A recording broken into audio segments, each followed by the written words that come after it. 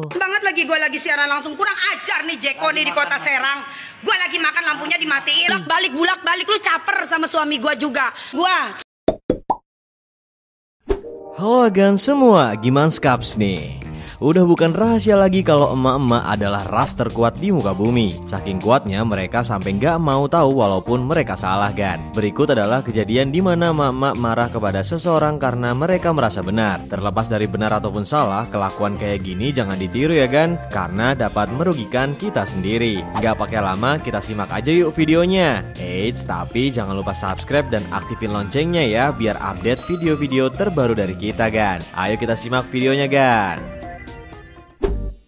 Rumah makan Beredar sebuah video yang berisi seorang ibu-ibu yang komplain kepada karyawan warung makan karena makanan yang dia pesen gak dateng-dateng kan. Video itu direkam oleh salah satu pelanggan lain yang lagi menikmati makanan di warung tersebut. Ibu-ibu yang pakai kaos biru itu memarahi karyawan laki-laki di warung itu dengan nada bicara yang tinggi sama karyawan di sana. Karyawan itu telah meminta maaf, tapi ibu-ibu tersebut masih gak terima karena anaknya juga udah lama menunggu. Karena kegaduhan yang dibuat ibu itu, salah satu pengunjung merasa terganggu dan mengingatkan ibu-ibu ibu tersebut.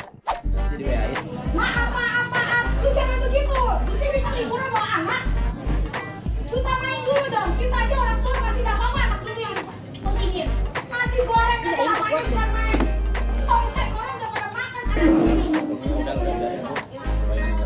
Ternyata ucapan salah satu pembeli ini didengar ibu-ibu itu dan mencoba menangkap ucapan sehingga menimbulkan perdebatan. Semakin panas, akhirnya pembeli lain yang juga memberikan protes kepada ibu tersebut karena mereka juga merasa keganggu. Yang tadi nada bicaranya keras karena dibentak balik oleh pengunjung di sana, akhirnya sang ibu rada menurun nada bicaranya.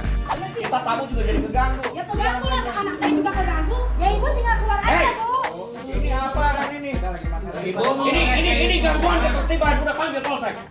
Ibu mau ngerasain semua apa mau mau komplain? Saya bukan Kalau mau komplain ke dalam. Jangan teriak-teriak di sini. Sini. Saya kamu saya untuk kenyamanan di sini. Ini publik ini. Saya bilang Iya, bahwa ada ibu kamu. silakan komen komen komen.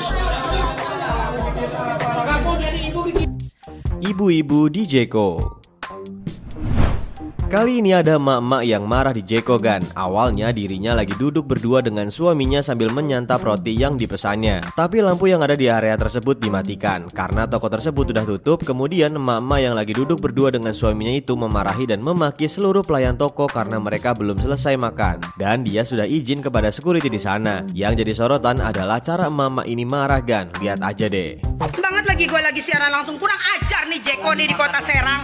Gue lagi makan lampunya dimatiin. Lu tuh pekerja bukan bos.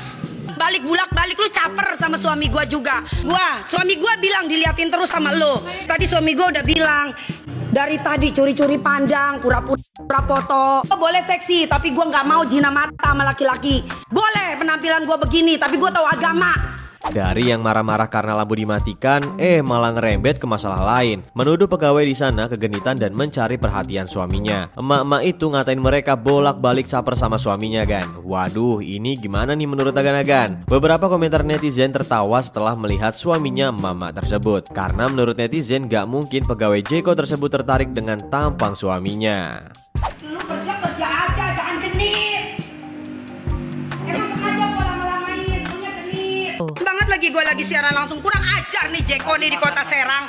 Gue lagi makan lampunya dimatiin. Lu tuh pekerja bukan bos. Balik bulak balik lu caper sama suami gua juga. Gua, suami gua bilang diliatin terus sama lu. Tadi suami gua udah bilang dari tadi curi-curi pandang, pura-pura foto. Oh, boleh seksi, tapi gua nggak mau jina mata sama laki-laki. Boleh penampilan gua begini, tapi gua tahu agama. Ibu-ibu ditilang. Kebayangkan kalau ibu-ibu ditilang gak pakai helm, gak bawa STNK, pasti bakalan gak mau ditilang kayak ibu yang satu ini nih. Seorang ibu-ibu marahin anggota kepolisian yang memberhentikannya gan. Selain marah, dia juga membentaknya. Waduh, ibu-ibu emang gak ada lawan. Polisi aja dilawan loh. Setelah bersih tegang dengan polisi, dia pun mengaku sebagai istri jaksa. Gini nih gan cuplikannya.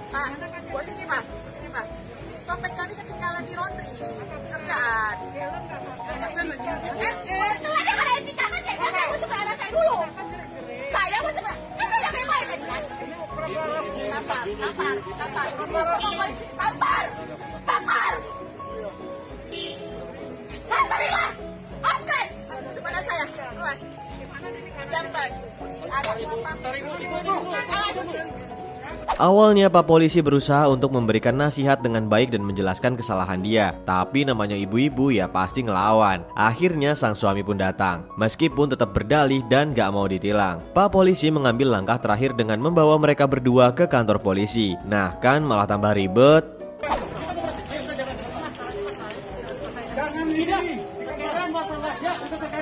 Kenapa? Kenapa?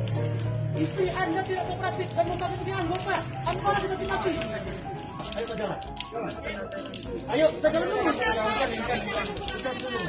Terlalu banyak yang dimaki-maki si bapak. Apa kalian anggap tadi? Saya tidak ada masalah sama bapak. Tidak ada yang ngomong tadi masalah sampah Anda. Ibu-ibu ditilang sebuah kemacetan terjadi di jalan raya menyebabkan kendaraan berhenti diikuti dengan bunyi klakson yang saling sahut. Wah, ada apa nih? Ternyata ya ternyata ada seorang emak-emak yang gak mau ditilang sama petugas dan mengamukkan. Drama itu berawal ketika anggota Satlantas menindak seorang pengendara yang mengaku bekerja di Mahkamah Agung. Gak mengindahkan aturan petugas, emak-emak tersebut langsung memaki petugas sampai ponselnya jatuh. Gini nih Gan cuplikannya.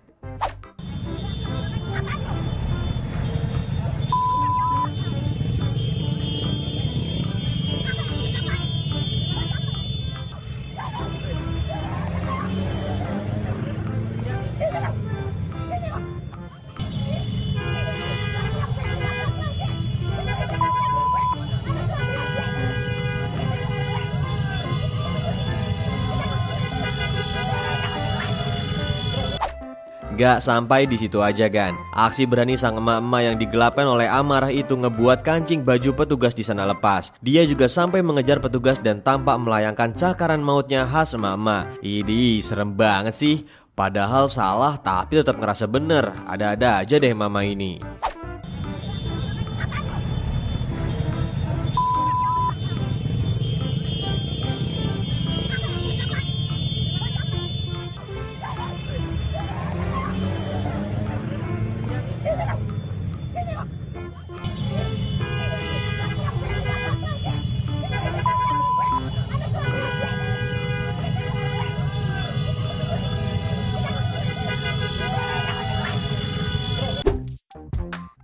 Emak-emak parkiran Keributan terjadi antara mama dan seorang pemilik toko terjadi lantaran mobil emak tersebut ditempelin stiker peringatan sama yang punya toko. Usut punya usut, emak-emak tersebut menggunakan parkiran toko untuk memarkirkan mobilnya. Menurut pengakuan pemilik toko sih kalau sebentar nggak apa-apa, tapi mama tersebut memarkirkan mobilnya lama dan dianggap mengganggu konsumen lainnya.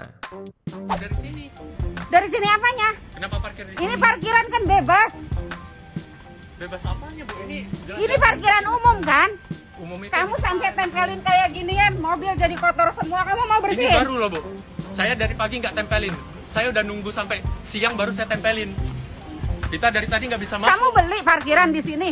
Ini depan ruko kita. Iya kamu beli sama parkirannya enggak? Akhirnya mama tersebut ngamuk kan karena mobilnya kotor akibat tempelan lakban yang ditempel pemilik toko. Tapi namanya mama, masing-masing berargumen dengan argumennya. Yang parkir berargumen kalau ini parkiran umum, sedangkan pemilik toko berargumen kalau mobil mama tersebut menghalangi konsumen yang mau datang dan parkir di tokonya. Menurut Agan gimana nih? Dari sini. Dari sini apanya? Kenapa parkir di sini? Ini parkiran kan bebas. Bebas apanya, Bu? Ini Ini kan? Umum itu. Kamu sampai tempelin kayak ginian, mobil jadi kotor semua. Kamu mau Ini bersihin? baru loh, Bu. Saya dari pagi nggak tempelin. Saya udah nunggu sampai siang baru saya tempelin. Kita dari tadi nggak bisa masuk. Kamu beli parkiran di sini? Ini depan ruko kita. Iya kamu beli sama parkirannya enggak kan? Terima kasih telah menonton video ini. Jangan lupa klik like dan subscribe untuk selalu berlangganan konten menarik dari kita. Dan selalu mendukung channel ini agar bermanfaat bagi orang lain. Jangan lupa juga untuk komen di bawah. Sampai jumpa di video selanjutnya.